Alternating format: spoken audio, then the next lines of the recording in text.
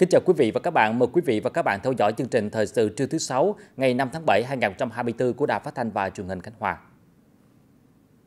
Sáng nay, tỉnh ủy Khánh Hòa khai mạc hội nghị lần thứ 19 nhiệm kỳ 2020-2025. Ông Nguyễn Hải Ninh, Ủy viên Trung ương Đảng, Bí thư tỉnh ủy, ông Nguyễn Khắc Toàn, Phó Bí thư Thường trực tỉnh ủy, Chủ tịch Hội đồng nhân dân tỉnh, ông Nguyễn Tất Tuân, Phó Bí thư tỉnh ủy, Chủ tịch Ủy ban nhân dân tỉnh, ông Hà Quốc Trị, Phó Bí thư tỉnh ủy, trưởng đoàn đại biểu Quốc hội tỉnh chủ trì hội nghị.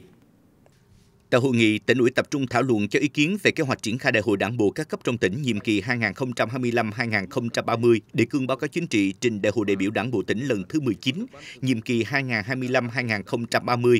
báo cáo tình hình thực hiện nhiệm vụ phát triển kinh tế xã hội 6 tháng đầu năm 2024 và phương hướng nhiệm vụ 6 tháng cuối năm 2024. Báo cáo đánh giá tình hình thu ngân sách nhà nước chi ngân sách địa phương 6 tháng đầu năm, ước thực hiện thu ngân sách nhà nước chi ngân sách địa phương và phương án cân đối ngân sách địa phương năm 2024. Báo cáo tình hình thực hiện kế hoạch đầu tư công 6 tháng đầu năm, điều chỉnh bổ sung kế hoạch đầu tư công trung hạn giai đoạn 2021-2025 và điều chỉnh kế hoạch đầu tư công năm 2024 và một số nội dung quan trọng khác. Phát biểu khai mạc hội nghị, nghị, Bí thư tỉnh ủy Nguyễn Hải Ninh nhấn mạnh, những nội dung trình tại hội nghị tỉnh ủy lần này là những vấn đề lớn quan trọng đối với công tác xây dựng đảng, xây dựng hệ thống chính trị và thực hiện nhiệm vụ phát triển kinh tế xã hội 6 tháng cuối năm 2024. Theo đó, ông Nguyễn Hải Ninh đề nghị các đại biểu tham dự hội nghị phát huy tinh thần trách nhiệm, trí tuệ, đóng góp những ý kiến vào các vấn đề trọng tâm, phấn đấu hoàn thành thắng lợi nghị quyết Đại hội Đảng bộ tỉnh lần thứ 18 và các nghị quyết của Trung ương về xây dựng và phát triển tỉnh Khánh Hòa. Ban Thường vụ tỉnh ủy Khánh Hòa sáng nay cũng đã tổ chức lễ công bố và trao quyết định về công tác cán bộ. Đến dự có ông Nguyễn Cát Toàn, Phó Bí thư Thường trực tỉnh ủy, Chủ tịch Hội đồng nhân dân tỉnh, ông Hà Quốc Trị, Phó Bí thư tỉnh ủy, trưởng đoàn đại biểu Quốc hội tỉnh. Tại buổi lễ, Ban Thường vụ tỉnh ủy đã công bố quyết định điều động bà Trần Thị Tú Viên, Ủy viên Ủy ban Kiểm tra tỉnh ủy đến nhận công tác tại Ủy ban Mặt trận Tổ quốc Việt Nam tỉnh kể từ ngày 5 tháng 7 2024 để giới thiệu hiệp thương cử tham gia Ủy ban Mặt trận Tổ quốc Việt Nam tỉnh và giữ chức vụ Phó Chủ tịch Ủy ban Mặt trận Tổ quốc Việt Nam tỉnh Khánh Hòa nhiệm kỳ 2024-2029 tại Đại hội đại biểu Mặt trận Tổ quốc Việt Nam tỉnh Khánh Hòa lần thứ 11, nhiệm kỳ 2024-2029 điều động ông Nguyễn Hữu Nghị, Phó trưởng ban quản lý khu kinh tế Vân Phong đến nhận công tác tại cơ quan Ủy ban kiểm tra tỉnh ủy kể từ ngày 5 tháng 7 2024 để bầu giữ chức vụ Ủy viên Ủy ban kiểm tra tỉnh ủy nhiệm kỳ 2020-2025. Tối qua 4 tháng 7 tại thành phố Nha Trang đã diễn ra lễ tổng kết giai đoạn 2 chương trình Người dân Khánh Hòa nói tiếng Anh. Chương trình do Ủy ban Nhân dân tỉnh Khánh Hòa chủ trì, tập đoàn Vingroup tài trợ. Đến dự có ông Đinh Văn Thiệu, Phó Chủ tịch Ủy ban Nhân dân tỉnh, trưởng ban chỉ đạo chương trình.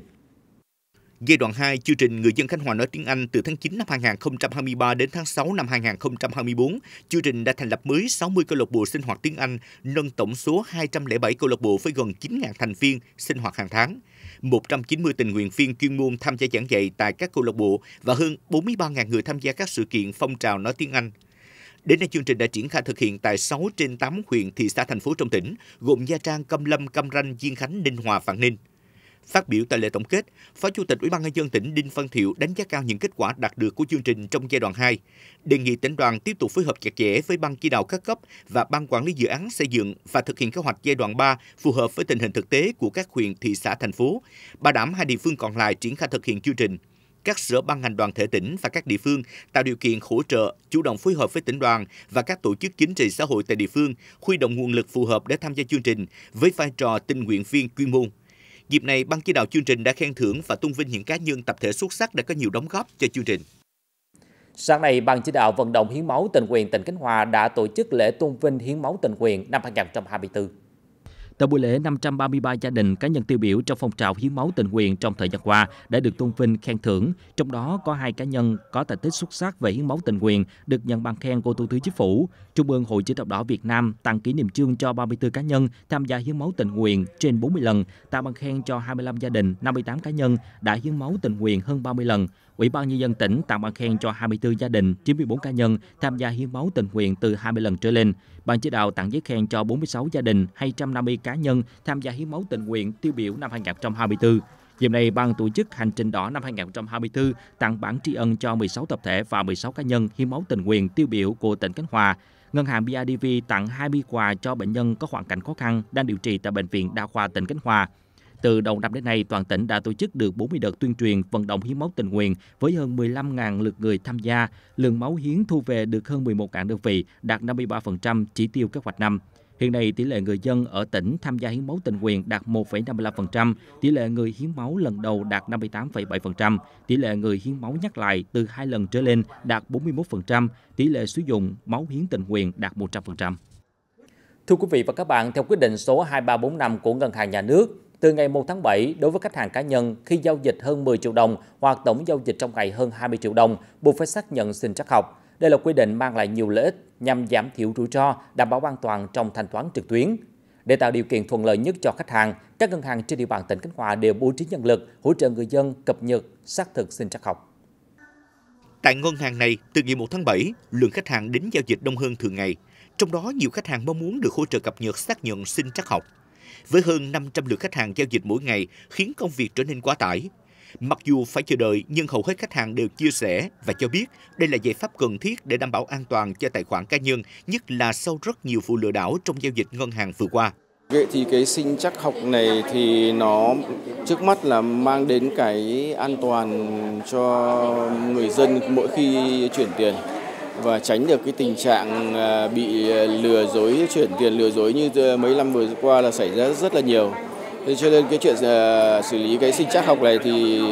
thứ nhất là nhân viên sẽ vất vả rất nhiều, nhân viên ngân hàng sẽ vất vả rất là nhiều. Thế nhưng mà mang đến cho người dân là đánh đổi lại được là người dân sẽ rất là an toàn trong vấn đề bảo vệ cái tài sản của mình. Theo quy định, để có thể xác thực sinh trắc học lần đầu, người dân cần đăng nhập vào ứng dụng, lựa chọn tính năng cập nhật thông tin, sau đó thực hiện quét khuôn mặt, chụp căn cước công dân mặt trước và mặt sau, quét thông tin từ căn cước công dân gắn chip vào đầu độc NFC trên điện thoại để truyền dữ liệu. Cuối cùng xác nhận thông tin và xác thực OTP là đã hoàn tất việc cập nhật dữ liệu. Tuy nhiên, nhiều người dân phản ánh gặp khó khăn khi tự cập nhật, phần lớn ở khâu quét NFC trên căn cước công dân. Một số trường hợp khác thì thông tin căn cước công dân không khớp với thông tin trên ngân hàng. Trong thực tế triển khai thì ờ, thật sự thì cũng có nhiều khách hàng là ờ, điện thoại không có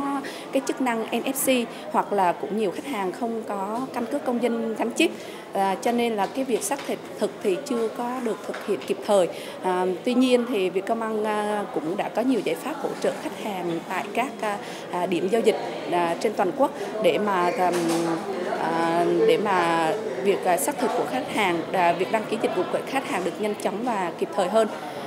Ngân hàng Nhà nước chi nhánh Khánh Hòa vừa có công văn hướng dẫn các tổ chức tín dụng, tổ chức cung ứng dịch vụ trung gian thanh toán về một số nội dung triển khai quyết định số 2345. Trong đó các ngân hàng tổ chức truyền thông hướng dẫn thực hiện đến toàn bộ khách hàng về việc triển khai các biện pháp xác thực giao dịch, chuẩn bị sẵn phương án, kênh hotline và bố trí cán bộ trực 24 trên 7 để hướng dẫn hỗ trợ kịp thời khách hàng đăng ký, sử dụng thông tin xác thực sinh trắc học. Các ngân hàng cần chủ động phối hợp với cơ quan chức năng chuẩn bị sẵn sàng phương án xử lý các khó khăn vướng mắt, đồng thời triển khai các giải pháp kỹ thuật để đảm bảo an ninh an toàn thông tin dữ liệu khách hàng. Mục đích của cái việc ban hành cái quyết định 2345 á, tức là nhằm là đảm bảo cái người mà thực hiện giao dịch trực tuyến á, phải là chính chủ, đó, đảm bảo quyền lợi của khách hàng và phòng ngừa được cái việc mà à, mà tội phạm lừa đảo chiếm đoạt tài sản của khách hàng, đồng thời cũng như là phòng ngừa được cái việc mà mượn này cho thuê này cũng như là mua bán tài khoản thanh toán ví điện tử phục vụ cho những cái mục đích bất hợp pháp. Thì những cái giải pháp mà được à, đề cập à, trong cái quyết định 2345 á, thì à, chủ yếu là tập trung vào việc là xác thực cái thông tin của khách hàng mà mở tài khoản tại à, ngân hàng á, là phải đối khớp với tất cả những cái thông tin trên căn cước công dân do Bộ Công an cấp hoặc là những cái dữ liệu mà trên cơ sở quốc gia về dân cư.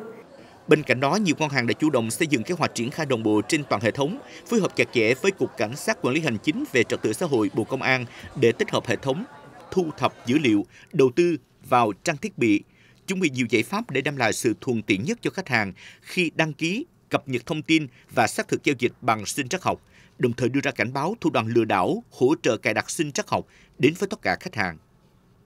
Sáng nay, trường đại học Nha Trang công bố và trao quyết định mở ngành đối với 4 ngành chuyên ngành mới. Theo đó, có 3 ngành vào một chuyên ngành mới được đưa vào tuyển sinh và đào tạo tại trường đại học Nha Trang, gồm ngành kỹ thuật biển, ngành khoa học máy tính, ngành kiểm toán, chuyên ngành khoa học dinh dưỡng và ẩm thực. Trường đại học Nha Trang cũng đưa vào tuyển sinh các ngành và chuyên ngành này ở đợt tuyển sinh năm 2024 với 50 chỉ tiêu cho mỗi ngành chuyên ngành. Trường đại học Nha Trang hiện đang đào tạo 36 ngành trình độ đại học, 15 ngành trình độ thạc sĩ và 8 ngành trình độ tiến sĩ với gần 16.000 sinh viên học viên. Năm 2024, nhà trường tuyển sinh 3.700 chỉ tiêu với 60 chuyên ngành, trong đó có 5 chương trình đào tạo đặc biệt song ngữ, 2 ngành đào tạo theo chương trình Minh Phú NTU. Tính đến thời điểm này, nhà trường đã hoàn tất thủ tục cho thí sinh đăng ký xét tuyển sớm bằng điểm thi đánh giá năng lực, học bà, xét tuyển sớm và công bố điểm chuẩn trúng tuyển sớm. Trong chương trình phòng chống mại dâm giai đoạn 2021-2025 trên địa bàn tỉnh Khánh Hòa, hôm nay Sở Lao động Thương binh và Xã hội tổ chức tập huấn nâng cao năng lực cho gần 190 cán bộ làm công tác quản lý, triển khai chính sách pháp luật về phòng chống mại dâm trên địa bàn tỉnh Khánh Hòa năm 2024. Trong chương trình cán bộ làm công tác lao động thương binh và xã hội, phòng chống tệ nạn xã hội các xã phường thị trấn, các đội liên ngành 178 cấp tỉnh, cấp huyện và năm câu lạc bộ niềm tin và nhóm đồng đẳng đã được tập huấn nghiệp vụ triển khai thực hiện các quy định pháp luật về phòng chống mại dâm, tập trung vào các nội dung kế hoạch số 1759 ngày 1 tháng 3 năm 2022 của Ủy ban nhân dân tỉnh về thực hiện chương trình phòng chống mại dâm giai đoạn 2021-2025 trên địa bàn tỉnh Khánh Hòa. Nhận diện tình hình hoạt động mại dâm trên địa bàn tỉnh thời gian gần đây, hướng dẫn nghiệp vụ công tác kiểm tra, kỹ năng phát hiện các hành vi vi phạm và biện pháp xử lý. Cũng qua tập huấn, các địa phương, cơ sở cùng chia sẻ về tình hình thực tế, những cách làm hay hiệu quả trong phòng chống mại dâm tại địa bàn, đồng thời đề xuất kiến nghị để công tác được triển khai đồng bộ hiệu quả, góp phần bảo đảm an ninh trật tự, an toàn xã hội trên địa bàn tỉnh. Ban dân vận Thành ủy Nha Trang sáng nay đã tổ chức chương trình yêu thương và chia sẻ thăm tặng quà cho các hộ gia đình chính sách, người dân có hoàn cảnh khó khăn tại xã Vĩnh Lương nhân kỷ niệm 77 năm Ngày Thương binh Liệt sĩ 27 tháng 7. Sau khi ôn lại ý nghĩa lịch sử, trân các anh hùng liệt sĩ đã dũng hy sinh, chương trình đã trao tặng 52 xuất quà gồm gạo và nhu yếu phẩm cho hộ nghèo, khuyết tật, đến thăm và tặng quà cho hai hộ gia đình chính sách tại xã Vĩnh Lương, tổng kinh phí quà tặng hơn 15 triệu đồng. Dịp này, Ban dân vận Thành ủy phối hợp đồn biên phòng Vĩnh Lương tổ chức tuyên truyền biển đảo, kết quả thực hiện nhiệm vụ bảo vệ chủ quyền biển đảo của Tổ quốc. Sáng nay, Ủy ban nhân dân thành phố Cam Ranh đã tổ chức lễ khai mạc hè Ngày Olympic trẻ em và phát động toàn dân tập luyện môn bơi phòng chống đuối nước năm 2024. Tại buổi lễ, lãnh đạo thành phố đã phát động phong trào toàn dân tập luyện môn bơi phòng chống đuối nước, đồng thời kêu gọi các tổ chức cá nhân doanh nghiệp chung tay đóng góp nhân lực vật lực, đầu tư cơ sở vật chất trang thiết bị dụng cụ thể thao và bể bơi để toàn dân nói chung Trẻ em nói riêng có điều kiện tập luyện thể dục thể thao nâng cao sức khỏe, phòng chống bệnh tật, giảm thiểu tai nạn đuối nước. Ngay sau lễ phát động, thành phố tổ chức giải bơi các nhóm tuổi thu hút gần 100 thanh thiếu nhi tham gia với các nội dung bơi cá nhân và bơi tiếp sức. Sáng nay, Liên đoàn Lao động thành phố Cam Ranh tổ chức giải cầu lông truyền thống công nhân viên chức lao động năm 2024. Hơn 100 vận động viên thuộc các khối thi đua công đoàn cơ sở trực thuộc thành phố tham gia giải. Giải được chia làm 3 độ tuổi thi đấu, gồm từ 18 đến 35 tuổi, từ 36 đến 45 tuổi và từ 46 tuổi trở lên. Các vận động viên thi đấu ở các nội dung gồm đôi nam, đôi nữ và đôi đạp nữ. Giải thi đấu theo thể thức loại trực tiếp, giải sẽ kết thúc vào ngày mai 6 tháng 7. Chiều hôm qua, Trung tâm Văn hóa Thông tin và Thể thao huyện Diên Khánh đã khai mạc giải bóng đá vô địch huyện năm 2024. Tham dự giải có 12 đội bóng đến từ các xã thị trấn và một câu lạc bộ doanh nghiệp. Các đội bóng được chia làm 4 bảng, thi đấu vòng tròn một lượt tính điểm chọn ra hai đội xuất sắc nhất mỗi bảng vào thi đấu tứ kết, bán kết và chung kết. Giải bóng đá vô địch huyện nằm trong hệ thống các môn thể thao quần chúng được huyện Diên Khánh tổ chức thường niên hàng năm. Giải sẽ bế mạc và trao thưởng vào ngày 16 tháng 7. Cũng trong chiều qua, Trung tâm Văn hóa Thông tin và Thể thao huyện Vạn Ninh tổ chức khai mạc giải bóng đá mini 7 người lứa tuổi 35 trở lên lần thứ nhất năm 2024. Tham dự giải có gần 100 vận động viên đến từ 7 câu lạc bộ bóng đá phong trào trên địa bàn huyện. Các đội bóng chia làm hai bảng thi đấu vòng tròn tính điểm, chọn hai đội nhất nhì các bảng vào thi đấu vòng bán kết chung kết. Đây là lần đầu tiên giải bóng đá sân 7 dành cho lứa tuổi 35 trở lên được huyện Vạn Ninh tổ chức nhằm tạo sân chơi lành mạnh cho các vận động viên yêu thích bộ môn bóng đá. Giải sẽ bế mạc vào ngày 7 tháng 7. Chương trình thời sự trưa nay của Đài Phát thanh và truyền hình Cánh Hòa đến đây là hết. Cảm ơn quý vị và các bạn đã quan tâm theo dõi. Và sau đây sẽ là bản tin dự báo thời tiết.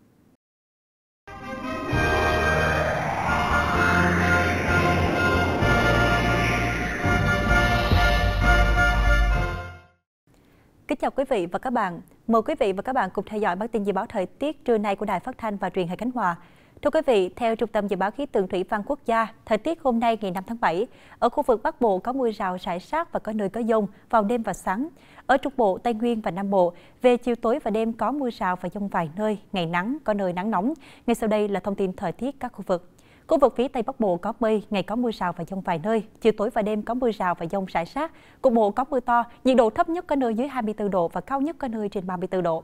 Khu vực phía Đông Bắc Bộ có nhiệt độ thấp nhất là khoảng 25 độ và cao nhất là 35 độ. Ở khu vực có mây có mưa rào và dông vài nơi, ngày nắng, riêng đồng bằng ven biển có mưa rào và có dông. Các tỉnh từ Thanh Hóa đến Thừa Thiên Huế có mây, ngày nắng có nơi nắng nóng, chiều tối và đêm có mưa rào và dông vài nơi. Nhiệt độ thấp nhất là khoảng 25 độ và cao nhất có nơi trên 35 độ.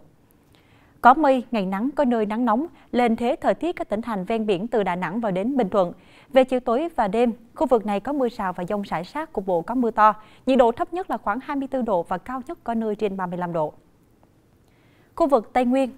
có nhiệt độ thấp nhất dao động trong ngưỡng từ 20 độ và cao nhất là 31 độ. Có mưa rào và dông vài nơi. Chiều tối và đêm có mưa rào và dông rải rác, cục bộ có mưa to. Các tỉnh thành ở Nam Bộ có mây, có mưa rào và dông vài nơi. Chiều tối và đêm có mưa rào và dông rải rác, cục bộ có mưa to. Nhiệt độ thấp nhất là 23 độ và cao nhất có nơi là trên 33 độ. Bản tin dự báo thời tiết trưa nay của Đài Phát thanh và Truyền hình Khánh Hòa đến đây là hết. Cảm ơn quý vị và các bạn đã quan tâm theo dõi. Thân ái chào tạm biệt.